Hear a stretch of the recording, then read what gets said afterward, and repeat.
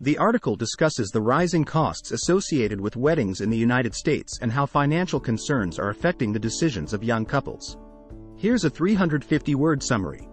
Many young Americans are hesitant to tie the knot due to the high costs associated with weddings. A recent poll found that 73% of Gen Z and millennials believe that getting married is too expensive in the current economy. The rising cost of weddings is a real concern, with the average U.S. wedding, including the ceremony and reception, reaching $30,000, which is $2,000 more than the previous year's average.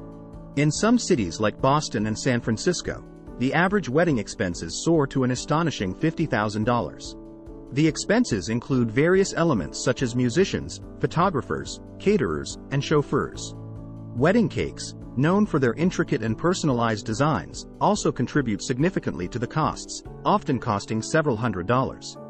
Financial planners advise couples to establish a firm budget at the beginning of the planning process and prioritize their spending based on what matters most to them.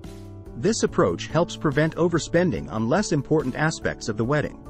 Furthermore, couples are encouraged to consider alternative uses for the money that could potentially go into a wedding, such as making a down payment on a mortgage. Approaching wedding planning as a team effort can be beneficial for couples, allowing them to strengthen their relationship through effective communication, shared values, and budgeting skills. Managing the financial aspects of wedding planning is considered a significant challenge, but it can be a valuable learning experience for couples.